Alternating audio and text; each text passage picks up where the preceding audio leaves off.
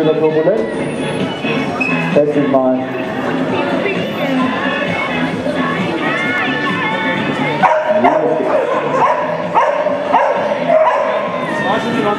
Kunde.